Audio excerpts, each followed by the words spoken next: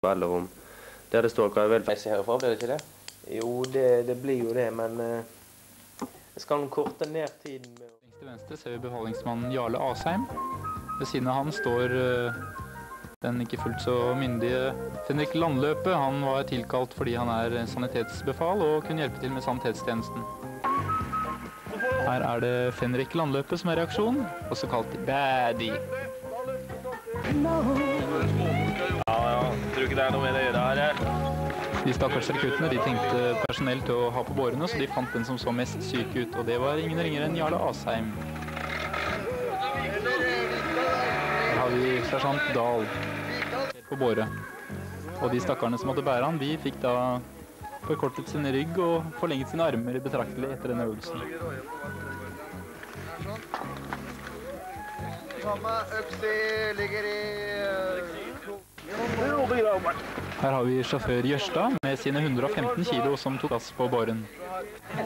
Her ser vi en som fikk testet uh, tyngdekraften. Her var det Jarle Asheim som nok en gang eh, var i farten. Her skulle jegertroppen forsere et virkelig vanskelig hinder i Inderløypa. En tunnel som eh, bukter seg ca. 20 meter med innsnevring hele veien. Så båren må slepes gjennom.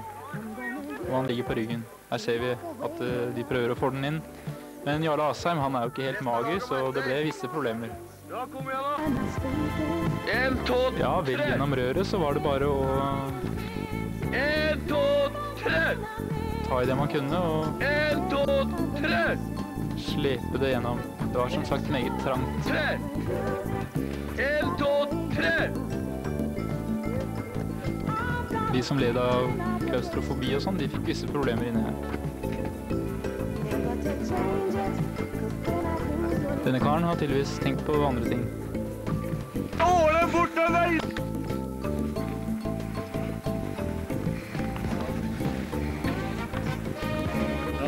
Her ser vi nok en gang den sunne sjelen, rettere sagt den syke sjelen i det syke legemet, som virkelig var, spilte rollen som syk meget godt.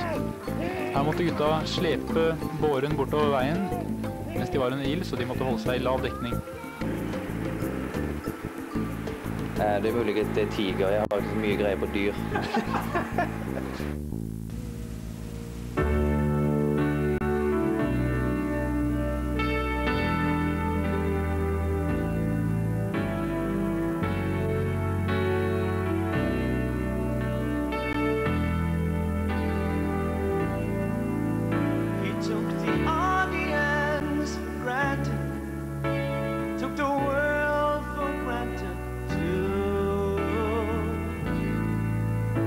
And his songs like we cast shadows, caught his signs out of the blue.